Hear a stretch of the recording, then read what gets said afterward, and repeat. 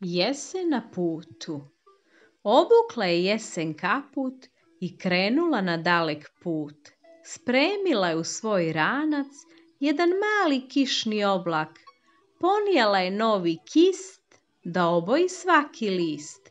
Još u svaki džep sa strane po kojoj lješnik stane. A u svojoj zlatnoj kosi miris dunja ona nosi.